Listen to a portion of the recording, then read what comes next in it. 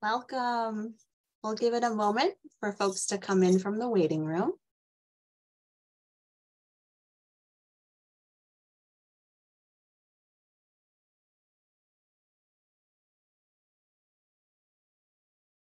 Welcome, everyone.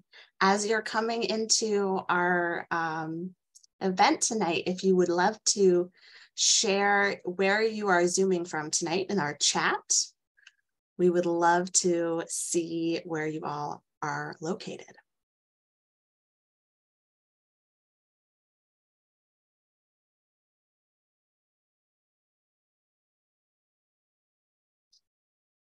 Great.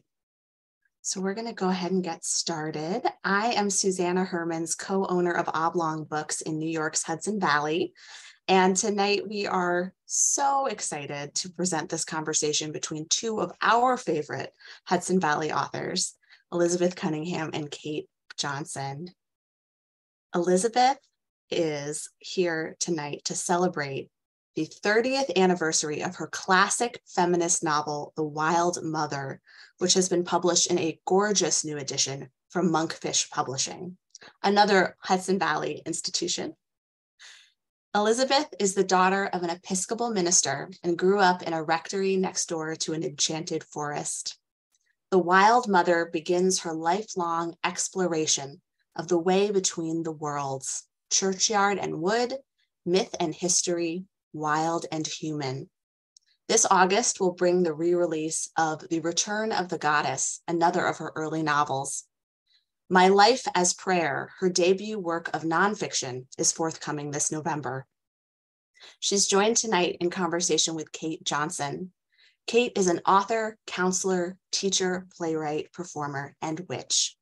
The author of six books, including Witch in the Kitchen and Celebrating the Great Mother, she trained with the Institute of Transpersonal Psychology and has a private practice as an editor and intuitive counselor in the Hudson Valley. Her latest book is Witch Wisdom for Magical Aging Finding Your Power Through the Changing Seasons. During the event, I'm going to go ahead and drop links to purchase all of our authors' wonderful books in the chat. Uh, we do encourage you supporting our authors by purchasing their books from either Oblong or your local independent bookseller. Um, and if you're watching this after the fact, you can visit oblongbooks.com to make those purchases. And I will mention again, if you, oh, chat is disabled. Thank you for somebody letting me know. I'll see if I can fix that. And um, in the meantime, we have a Q&A function at the bottom of your screen. So we recommend if you have questions for our authors, click the Q&A button, uh, pop your question in there, and we will uh, have a little Q&A at the end of the event. Um, I'm going to leave the two of you to it. Thank you all so much. Well, first, I want to say thank you to Suzanna and thank you to Oblong Books and thank you everyone at Oblong Books, Helen, Ella, everyone who works there. And it's Independent Booksellers Day this Saturday. So get out there and support your independent booksellers. And I also want to, um, I want to thank Monkfish Book Publishing Company, and all, and uh, Paul Cohen, my publisher, and also Colin Roth, who designed this beautiful new edition that actually matches my backdrop. We had a long conversation about that. No, he did. I guess he's intuitive. And speaking of intuitive, I want to thank my friend Cait Johnson for being with me tonight. And I was remembering that I once had a dream in which I said to her, We are lifelong friends. So we're lifelong, lifelong friends. Um, she's helped me with so many books and with so much in my life. And we always have good talks. So that's what we're going to do. Well, right back at you. I have to say, I am so thrilled to be here tonight. This you're one of my favorite people. You're also one of my very favorite authors. And you know, I love you. So how fun is this? We get to talk about your book, which is 30 years old and yet in this gorgeous new edition. So I feel really honored and pleased to be here. And I am bubbling over with questions for you. So let's get started. Yeah, yeah, yeah, yeah. So, okay, you're best known for the Maeve Chronicles. But what the audience may not know is that you've written other earlier works that are absolutely marvelous. I just reread The Wild Mother. It had been 20 years since I've read it. And I was I fell in love with it. I could not put it down. So, you know, if if you haven't read Elizabeth's other novels, please don't wait. There is a treat awaiting you. You can start with The Wild Mother. Soon there'll be the reissue, as Suzanna said, of Return of the Goddess. Yeah. So available at Oblong or wherever books are sold. So, can you, for those of us that haven't read The Wild Mother, can you give us a brief synopsis of the book? Ooh, that was one question I wasn't prepared for. Uh, let's see. about it. oh no. Oh, oh! I thought I was going to tell the story of how I came to write the book. Oh, but you I, are. I, I thought a synopsis. I but if you'd like to tell um, the story, you maybe you should do the synopsis because. Well, no, I do remember. Actually, the synopsis is that. um yeah, the book opens with the, all the human characters, especially the four main characters, wondering about the wild mother because she has disappeared. And um, she lives in the empty land beyond the wall. Uh, you and they long for her, dread her, um, want to control her, all the different responses that human beings have to the wild, but especially her daughter Ionia has these dim memories of her and draws pictures of her. She's 10 years old in the novel. And so the, the book is divided into four sections the approach of the wild mother, the return of the wild mother, the escape of the wild mother, and then something else that I can't remember, but Cait probably knows. Anyway, it's very, yeah. also um, the part of the origins of the book were uh, I was and oh this is really shocking. It's shocking enough that it's the 30th anniversary of its publication, but in fact I started writing it in 1976 and I finished it in 1979. And I am going to tell the story of how I came to write it, but one of the sparks for it, speaking of um, you know, synopsis, is that the wild mother's name is Lilith. And two of the human characters are named Adam and Eva. And um, I think some of you may be familiar with Judith Plaskow, if that's how you say her name. And she wrote a little brief midrash that was published in one of her books. And it was about what if Lilith wasn't cast out of the Garden Eden. She's a pro- uh, an apocryphal biblical character that and that I learned about her from C.S. Lewis actually. But what if she wasn't cast out? What if she said, enough already, I'm out of here, and climbed over the wall? And Judith Plaskow's other, I think, but her main premise was, what if she came back and looked over the wall and talked to Eve and they made an alliance?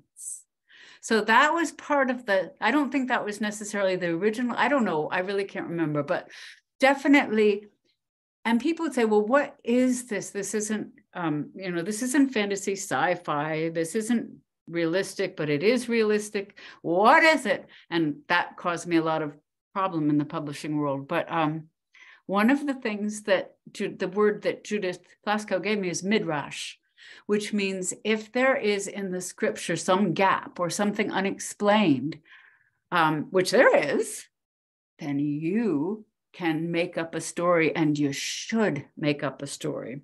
So in some ways, I feel like most of my work is midrash. And this is definitely not an allegorical or strict retelling of it. It just so happens that there is Adam, Eva, and Lilith. And two wonderful children and one not so wonderful child. Your child characters are fabulous. Oh, yeah. And that was another thing they told me back in the day. You can't have children and adults in the same novel. Who is this for? Well, tell that to Charles Dickens, please. really? Yeah. So, but, and that sort of leads us to the next thing. You are a storyteller. So I do want to hear the story, and I'm sure everyone else does, of how you came to write this book, because it's yeah. a real corker. Yeah, it's a it's a good story, and I think it may speak to many writers and many people.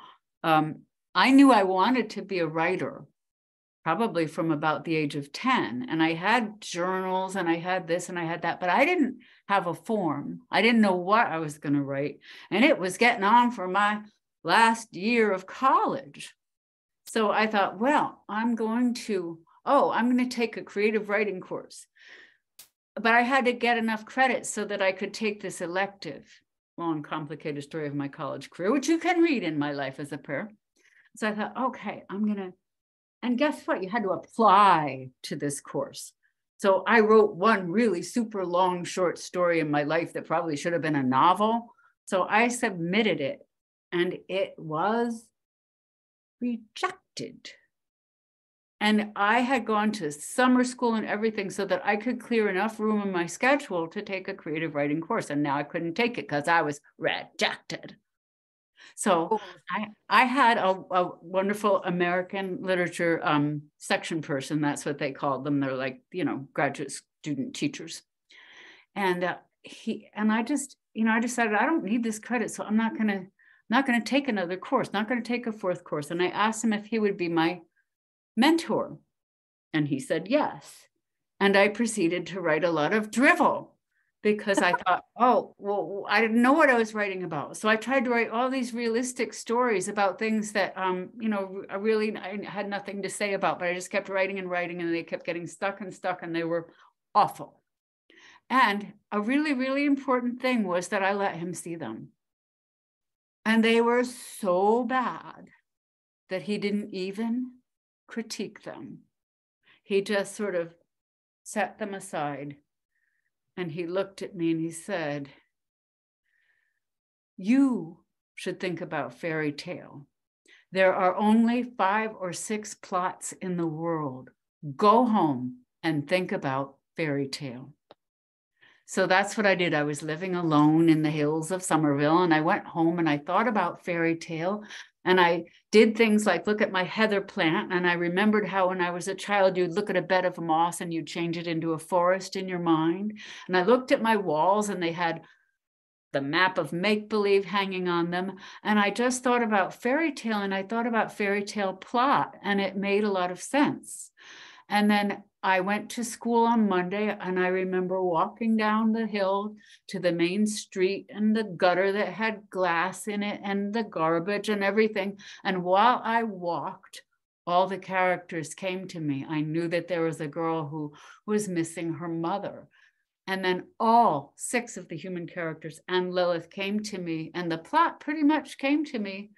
Not that I knew exactly what I was doing, it took me three years to write it, but um, it all came to me by the time I got to school because the right person at the right time said those words and because I dared to fail and I was rejected. And that's how my writing life started. I mean, not that I hadn't been writing before, but that's how I came to write my first novel and discover what my genre really is.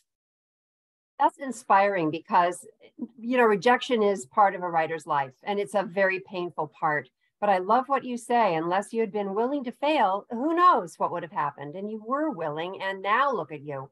I mean, this the next book that's coming out, My Life is a Prayer, is that number nine for you, not counting the poetry collections? I think it is. I'm not exactly sure. okay, well, it's something it's eight or nine. You know, when you see some people's other works, there's like 20 or 30 of them in all different genres, but there's Four Maeve Chronicles. There's three early books that have been published. There's two books that are going to be reprinted that came after the Maeve Chronicles. There's some poetry collections that are out of print. As I don't know if anybody's counting, but yeah, it's probably nine, ten, something. I don't know. I'm not really good at counting, except that I really love counting symbol, syllables in haiku and any form that has syllables to align. I like to count that. I don't like to count calories. I don't like to measure my um, shots, but I do like to count syllables. So here's the thing this book was really the start of your oeuvre, right? So, however many books there are, this was, it was really the beginning. It was absolutely yeah. the beginning. Yeah. I was 22 years old. Right, you were a baby.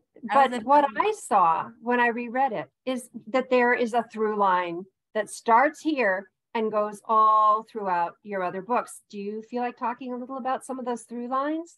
Yeah, I've often thought about that. I mean, there's the wild mother, and there's um, a little girl. She's not little, she's 10. So there's a mother daughter thing. That's one thing. And then I remember when I was writing the Maeve, and you know, in this story, I don't want to do too many spoilers, but basically, Ionia has to go out from the human world into the wild. And then it did dawn on me when I was writing um, Magdalene Rising, the first book of the Maeve Chronicles. Oh, here's the daughter living in the wild with all the wild women who's going to make the reverse journey into the human world. And I Maeve is pretty wild. So when I was writing her first book, I thought, okay, okay, here's the wild daughter. So that's one through line. I also think that um, I think in the introduction that Suzanna gave, there's this thing of there's there's these worlds and you go between them.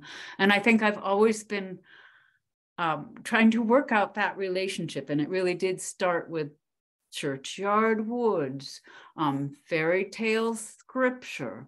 And so I think that's another through line. I think that I began working on that theme then, and I've it's gone through really different stages and developments. And I think in the wild mother, the wild was this wonderful other thing and I think more and more as I grow older and as I write, as I've written more and more books and as I've had more and more life, I really try to think, well, I'm, we're what? We forgot we're wild too.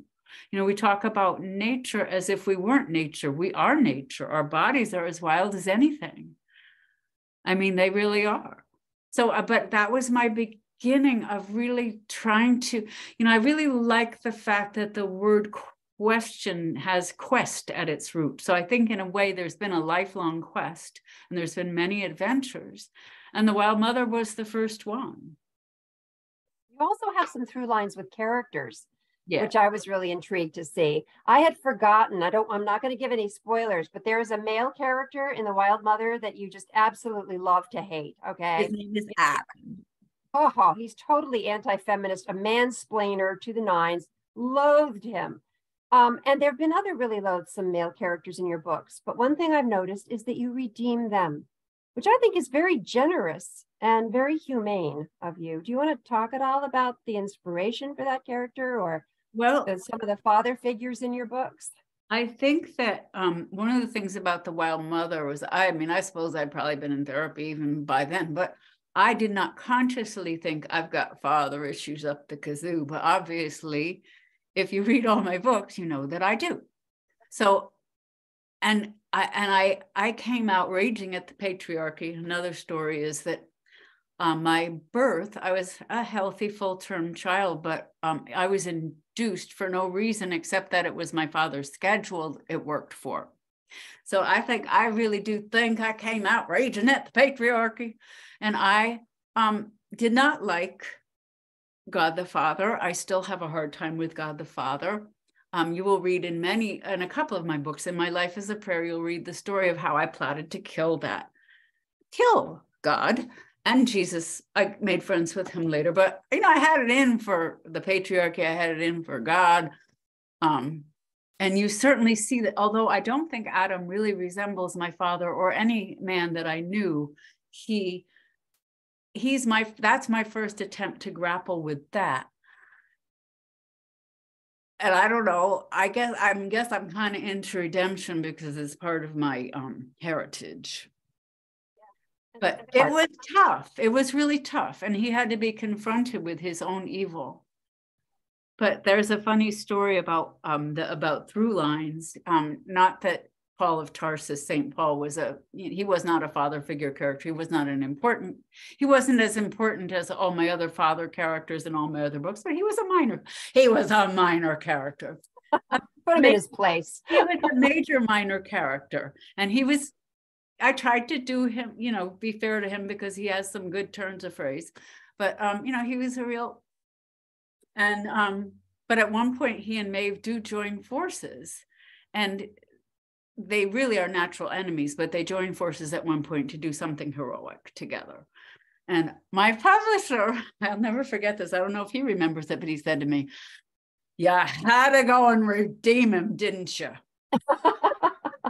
So I don't know. Habit. Might be a little bit of a compulsion, and it might be because as much as I have um I have different, I have really deep Christian roots, even though I've also become um a very you know a priestess and an earth-centered pagan and uh, whatever it is I am now, who knows? But that's pretty deep. That runs pretty deep. The idea that of confronting evil and somehow through confrontation and wrestling with it, and through people wrestling with it in themselves, that some glimmer of redemption comes. And don't ask me what I believe about that, but I seem to have to have written about it quite a bit. A delight to read. Yeah, yeah because my work right now is focusing very much on aging and you know being a woman in a culture that doesn't like us no matter what age we are but especially when we're old i was so taken by the character of Grammer the grandmother and i recognized the through line there that you have other marvelous grandmother characters in your other books. Do you feel like talking about that? Sure. Um, the grammar was very much based i mean in, the, in that book i don't think anybody except for grammar was really based on a someone that I knew, but grammar really was based on my grandmother who and you know you see in the beginning she's trying she tries to clean everything. She needs to clean the yard. She needs to clean everything. And my mother nana who she's Grammer's based on was my mother's mother-in-law. And instead of getting you know threatened or torqued by her mother-in-law coming over and wanting to clean things she would say nana i've saved this closet for you or here's this drawer. You can sort it. But she was very she was funny. She was a very comic character. Um, she was a minister's wife too because there's all those ministers in my background. Nana who grammar is based on played solitaire a lot and she cheated and so does grammar. but grammar is you know she's very horrified by lilith by the wildness she's one who's really and terrified of it and an enemy of it and wants to put it in its place and can't bear it and sees Lilith as a threat to everything in her life and who's going to take her children, but they end up being allies. And that was a beautiful alliance. And okay. yes, there are a lot of, there's that in, um, what is it, How to Spin Gold? There's um, Old Wise Woman in the Woods. What else did I write? Oh, yeah, Return of the Goddess. There's an old woman, you know, who, an old grande dame and I think in all in most of the Maeve Chronicles, until Maeve herself becomes the gray hag, there are um, old women who are wild, um, rambunctious, irreverent, prophetic, holy, all of that. And I rem in in Magdalene Rising, Maeve and Jesus are always arguing, and Jesus at one point says to her, "You and your old women, they give you all the answers. You cheat." So there's all these old women, including now in the fairy tale book that I'm writing, there are four elemental grannies who can't actually remember who they are. They have a little bit of dementia, perhaps. So it is a through line for sure. Well, you've had significant older women in your own life, and I, I know you write about that in My Life as a Prayer. Um, but I'd love to hear more about that. You had mentioned when we were getting ready for this event that Betty Sang was someone very special to you, and that you actually started writing this book, The Wild Mother, at her house. Tell us more about that.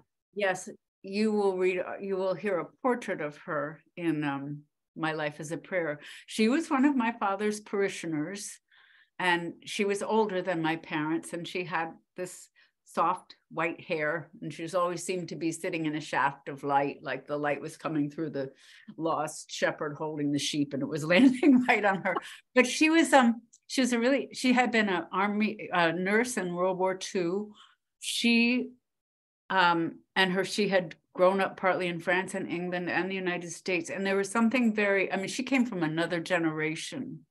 And she what it was about her because my father was very much the social gospel and you know action social action and if you don't have that then the rest of it doesn't mean anything. And i think she was the first contemplative christian i ever met. She was the she was very quiet and she we went to her house for dinner one day when i was a teenager and i thought oh oh the way you set a table or put or um, serve someone something, or the way you cook, or the way the light falls in your room that you've made, or the or your garden, all of that. I said, oh, that's grace. It's not all words, it's not all action, it's a way of being. And that was profound for me to meet that person. And so I decided that I don't know how I, I made my way into her life. I mean, I, I kind of didn't give her a whole lot of choice, but to adopt me at a time in my life when I really needed that, when I really needed that kind of love and care and that kind of vision of what could be. So I spent a lot of time with her. Um, I went to France with, I mean, I was a problem child. I get kicked out of school. That's probably for another time. But anyway, I was so in her life and I had done so much with her that when I um, I was told that I had carte blanche to write whatever I wanted to write, I went on spring break and stayed at her house, which is this beautiful old house with those kind of low eaves and the windows that are low to the floor and um, four poster beds with feather coverlets and satin coverlets. And it was a beautiful, magical house. And I went to her house, and that's where I wrote the first two chapters of The Wild Mother. And my um, mentor, my American literature mentor, said, You know, you don't have to write a term paper, write whatever you want. So I wrote the first two chapters of The Wild Mother, and I brought them back, and he said, that, That's it. You don't have to do anything else. And so, and when I um, left school that year, I went to live with her for the summer because I thought I was going to write a book in the summer. And then I was going to get a job on a cargo ship and travel around the world. It didn't work out that way, but I did spend the summer with her writing the book. And then I did, up, you know, I moved and did other things. But yeah, she was very much a part of, of that. trying to think, well, who is she in the books? She's just there. She permeates everything. She wasn't in the wild mother, but she was the ground for the wild mother. Talked about through lines that started here and then evolved. And I mean, how has your, if you were to reread it, how would you say your thinking has evolved? if I were. You wrote this. It's which I have. years. I know, right? I'll tell you one thing. I've been dipping into it to try to find literary Tuesday quotations because um, there's probably people here who know that I post every Tuesday something from my books, very often from Maeve because it's a lot easier to post in someone's first person voice. But I think one of the things I said before is what's changed for me is not seeing the wild as eh, or nature as other, not seeing wild and human as so distinct as they were. I mean, in this book, Ionia is grappling with I'm the daughter of the wild mother, but I'm also a human being. What does it mean to be human? And I think that's a pretty good question. I'm not sure, and I don't mind my answer, but I don't. I think I there's a lot of things I would frame differently. I'm not sorry that I wrote that book that way, but I think it's uh, like I said, we are wild we need to remember that we're wild and that we are no better or different from any other wild thing. Our whole culture is really predicated on us being totally separate and Yeah. better than. And so we can, you know, do whatever we want with everything else that isn't us. So, yeah. Um, so maybe you've already started to answer this question, but I was wondering after 30 years, what still rings deeply true for you in the book? I think that I think the thing that we were talking about before a little bit is like those kind of alliances that people make when they think they're enemies. That still rings true. And no, we haven't talked about Ava. We should talk about Ava. Ask me a question about Ava or Eva or whatever her name is. We should talk about her because she is the embodiment. I mean, there's Lilith and there's Ionia and Grammar, but um, Ava Brooke is a colleague at the University of whatever it is. I mean, she's a she's a professor of fairy tales, and he's the professor of alchemy. And I didn't know anything about alchemy then, but I just thought that sounded good. But um, she really represents something. She's very important. Should we talk about her a bit? Ask me something about Ava. Well, I just want to say when I first started reading the book, I had forgotten a lot about how loathsome Adam was. And I had also forgotten how I just wanted to shake Ava and smack her and say, Wake up, stop being such a spineless sycophant, for God's sake. And the wonderful thing is, she does. There, there is such an arc with the characters. She's the book. one that turns everything around in the Totally. She's the one at the transformational moment. So I would say that Ava, for me, and I think that maybe a lot of people our age can resonate with this. Um, my mother was a minister's wife. um, I think at one point in the Return of the Goddess, um, Fergus describes them the the priest wives as sort of being muted and like dimmed. And my mother was someone who was very very intelligent, very talented, but who had absolutely no sense of her own gifts or that they had any worth. And I mean, Ava's actually has more of a professional life than my mother allowed herself to have. But that sort of sense of I think it was not uncommon for women to feel that they didn't that they had to serve or that they had to be in the background or that um, that they could not assert themselves. So I don't I think Ava represented that. She represented all the kindness and good heartedness also of those women. I mean, she's the one who nurtured those children when Lilith wasn't there and they had Grammar taking care of them and shoving what did she used to feed them? Liver. Broccoli and liver. Took care of them, and she kept a clean house. But Ava was the one who really was sensitive to them, and and Ionia loves her. So, and I see eh, she has this. I mean, most of my, I, I often say, well, I became a writer because I don't have any hair and my characters have really good hair. Like Maeve has this gorgeous red hair and Lilith has this wild black mane and a lot of them has great hair, but Ava didn't. She had sort of thin um, hair that would always fall in her face that was kind of mouse colored. And so, but she is, she, she finds her strength. And um, yes. I think that there's a through line there too, because in the Return of the Goddess, Esther was literally a priest wife. That's who Fergus refers to. And she was very much in that kind of role. And she also had to step into her power.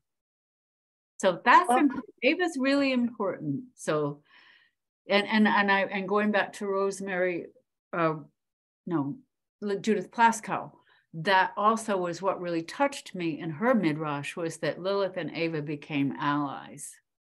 And as and Lilith do too, but Ava and Lilith, that's really important. It's like they embrace each other Well, you know, and to a lesser extent, Adam's son goes through a big transformation. Yes, we shouldn't forget about Jason. Don't let's, because yeah, again, a character. And Fred, Fred is adorable. Fred's oh, Fred's precious.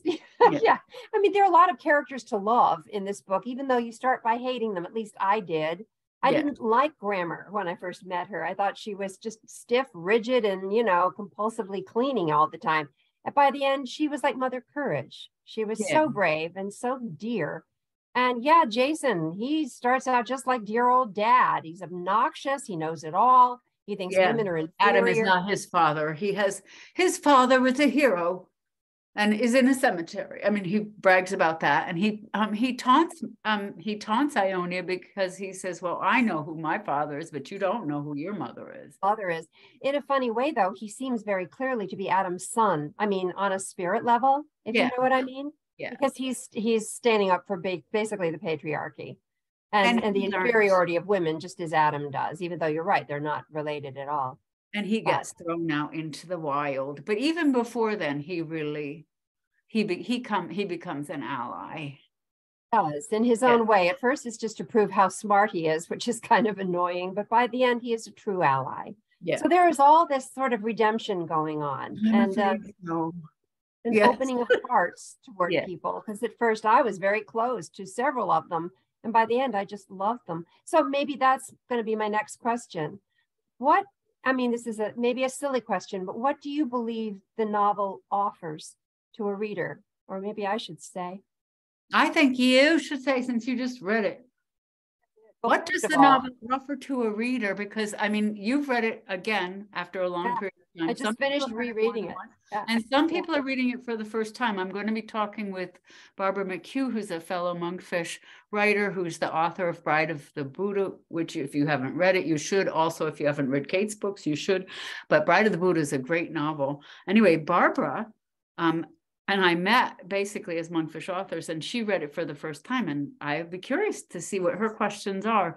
But um, but you've read it after a period of now.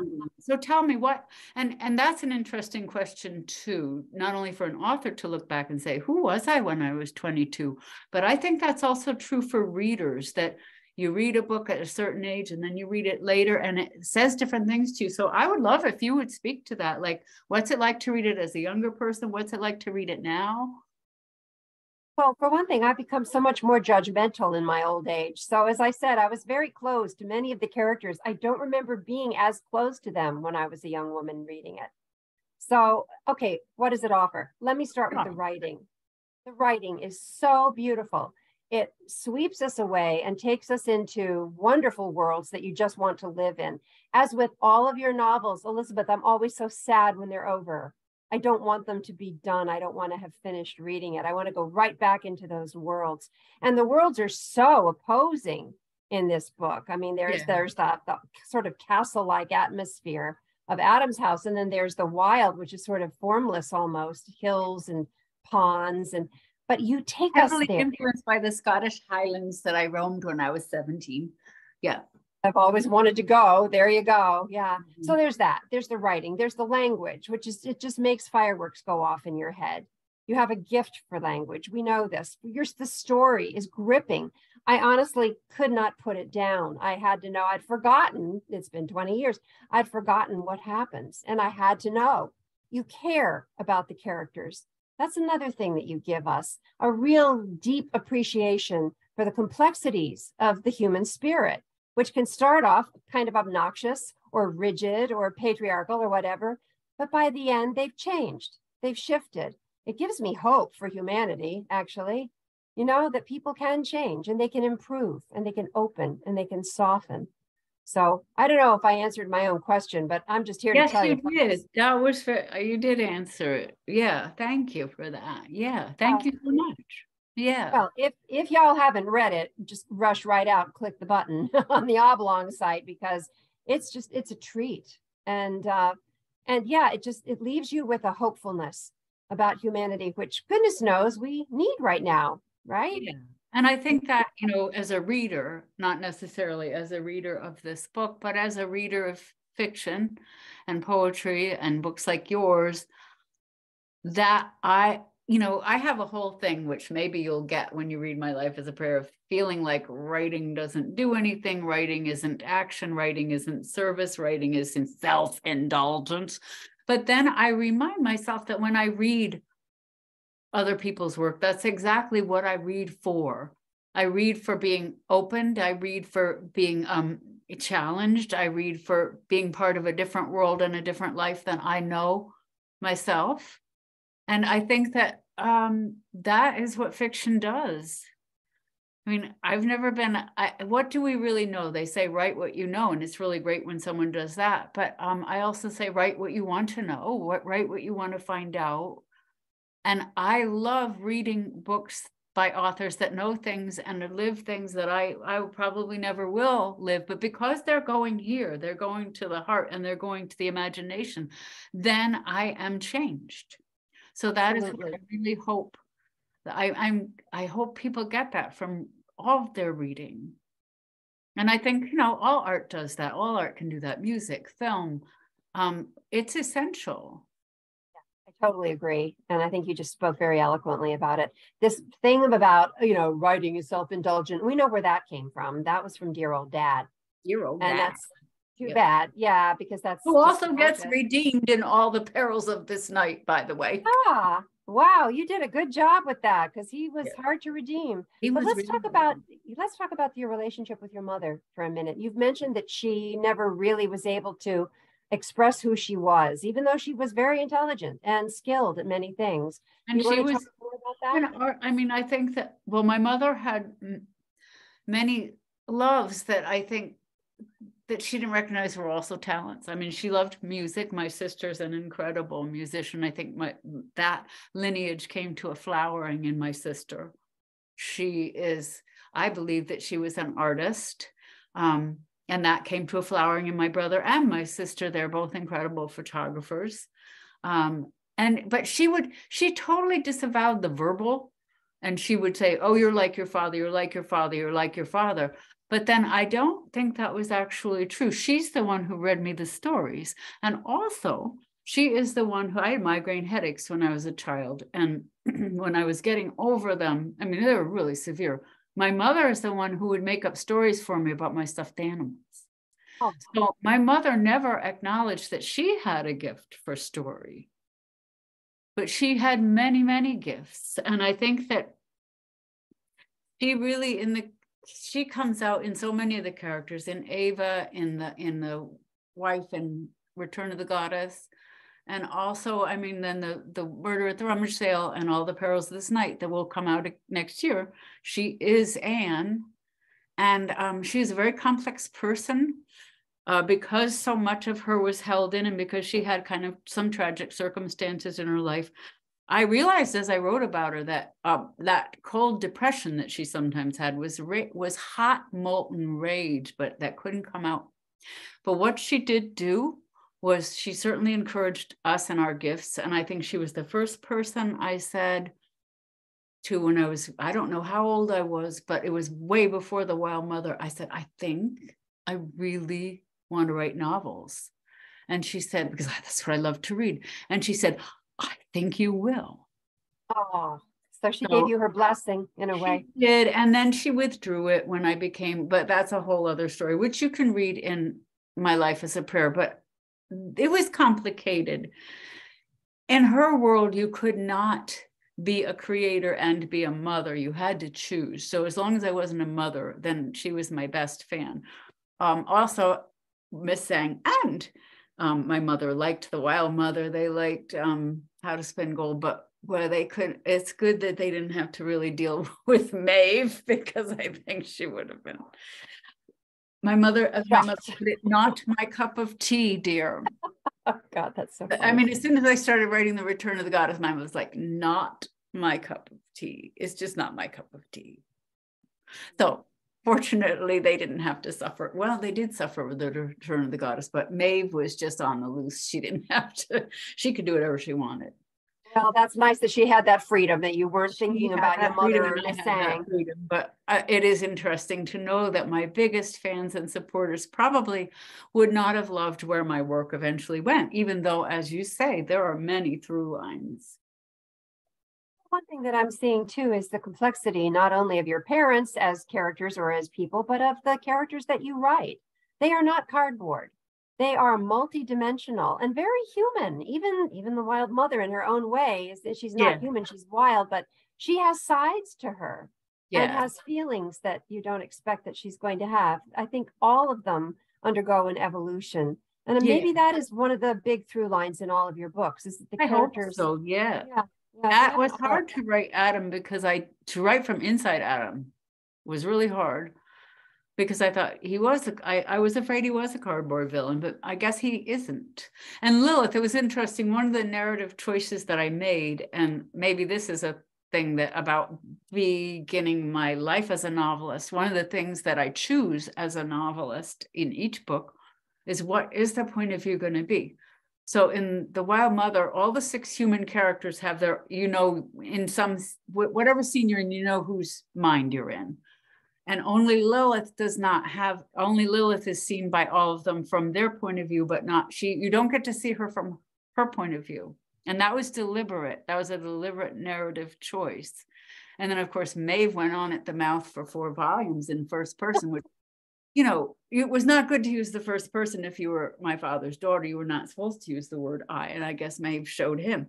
But um, but sure did. sometimes, but it was really interesting in Maeve, you know, even though she was a first person character, to try to get other points of view in. Because I love that there are, that is what novelists have to give to the world.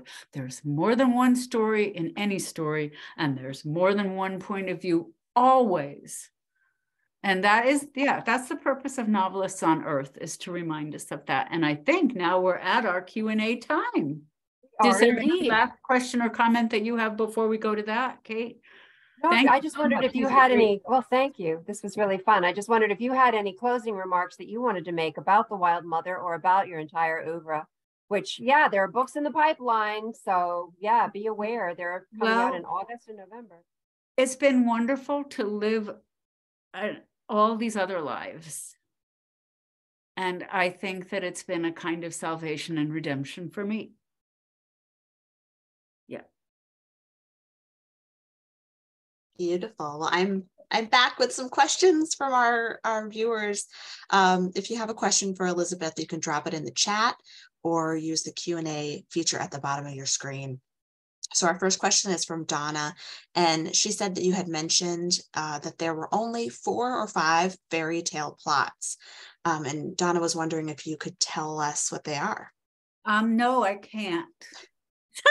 but in a way, well, what I did, uh, that's not a fair answer. What I did when when I was told that was I thought about that. I don't know what the four or five plots are, but I know what inspired me, which okay, one of the plots I think is loss and quest and of course, one of the plots is having to, and we know in a lot of fairy tales, you have to overcome many obstacles.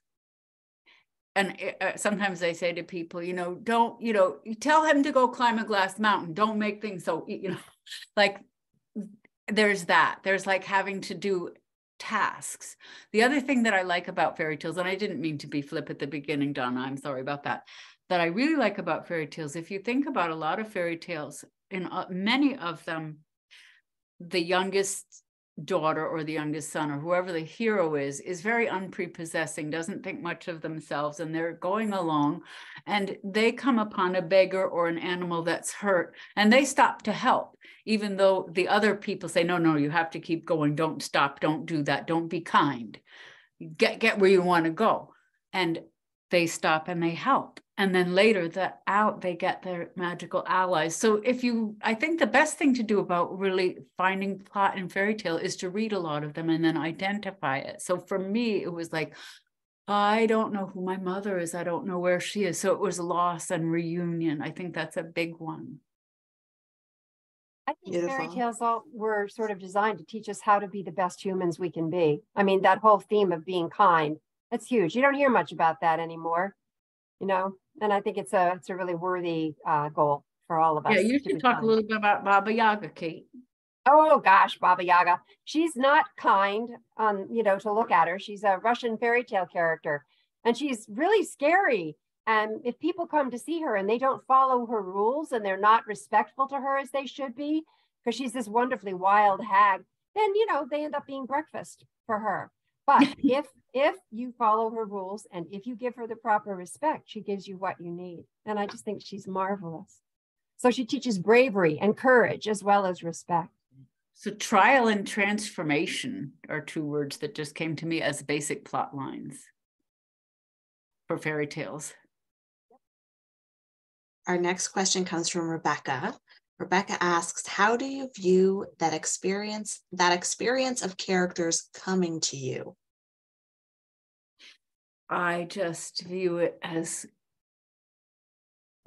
grace. I mean, it's, I think that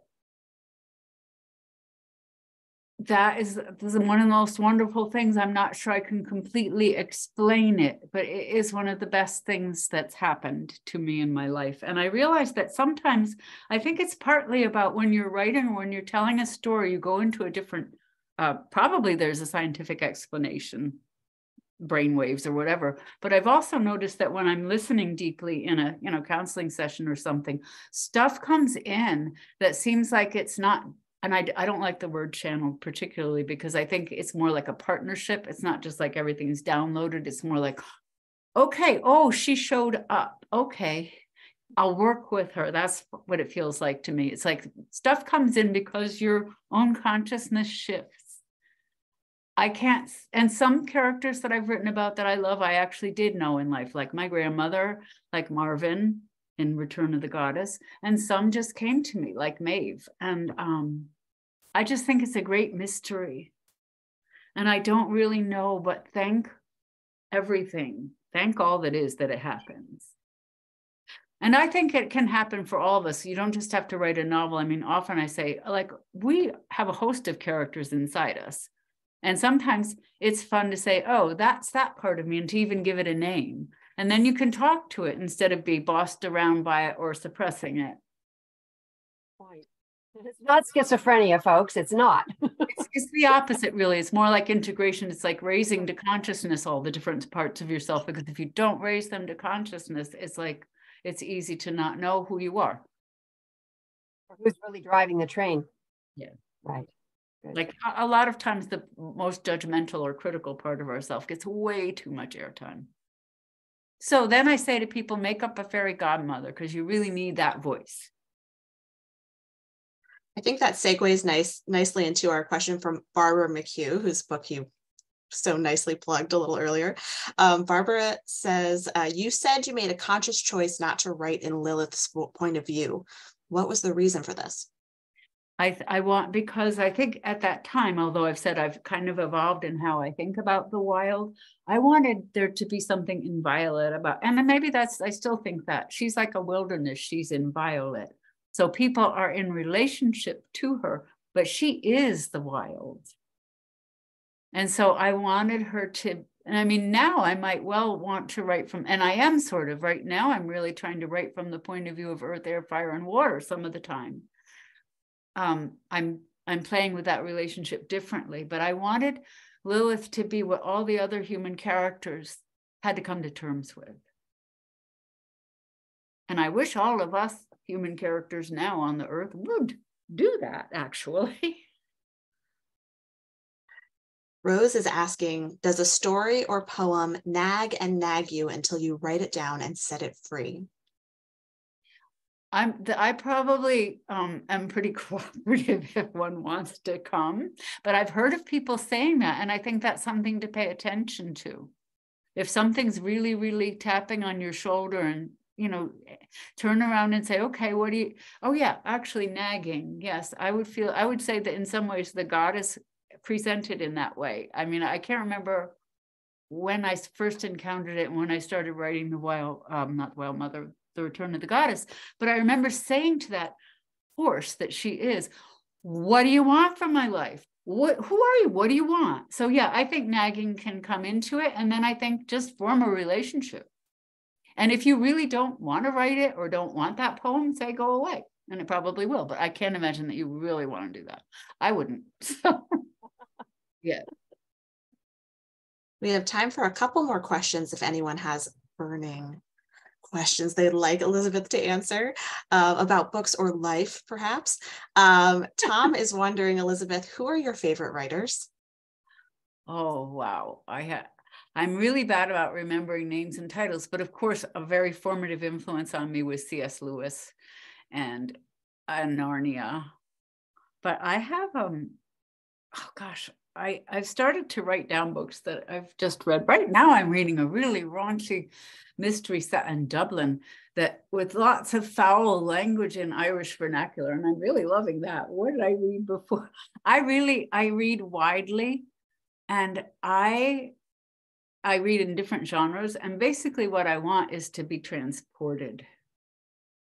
I want to be taken somewhere out of myself and out of my own world. And it doesn't have to be fantastical, it just has to be compelling. So, and I'm I'm sorry, next time I should really write down. Well, I you know what? One novel I really loved is Bride of the Buddha.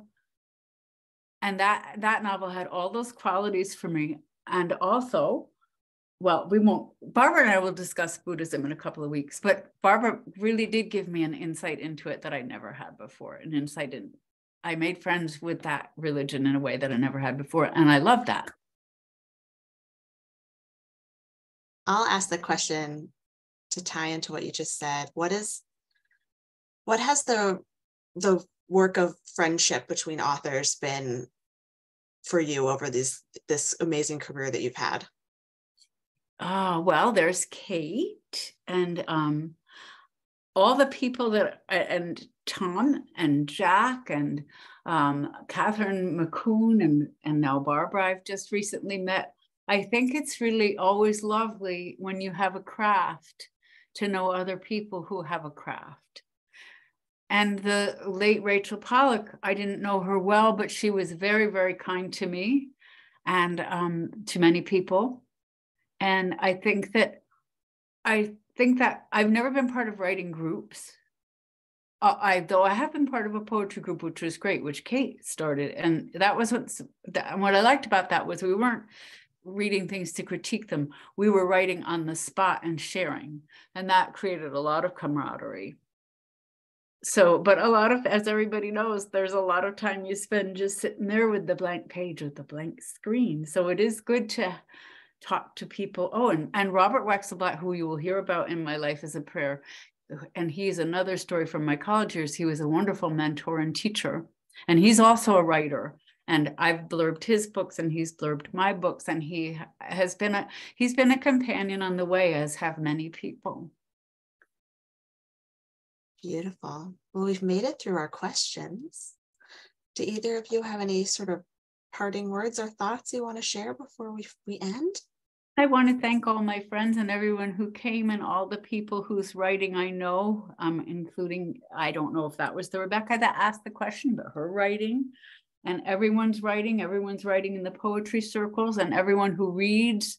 And um, my friend Debbie, if she's there, who's um, basically lived inside all my books and helped them come to life. And there's so many people to thank. I I don't. It's like hard to start thanking people because you don't want to miss anybody. But you are all in my heart, and I do thank. I am thankful for readers every day, and for all the people who support writers in all the ways they they do as writers and readers, and people who go to bookstores and libraries and keep a certain kind of sensibility alive that makes the world a rich and nuanced place said. And I want to echo just that. Thank you to all of you for being open to being transformed and opened up by whatever you read. Uh, we write for you, and we love you for reading what we write. And what a privilege it is to know other writers who are engaged in this life transforming, world transforming work. Thank you. And Suzanna, thank you so much for having us. Thanks, Suzanna. Thank you both. This was a truly joyful evening, and I'm so glad we were able to share it with so many folks tonight. If you haven't already gotten your hands on a copy of The Wild Mother, you can grab one at oblongbooks.com or ask for it at your local independent bookstore. And also, absolutely check out Cait's book, Witch Wisdom for Magical Aging. It's spectacular. Um, and go forth and read and be joyful. Thank you, everyone. Thank you. Good night. Good night.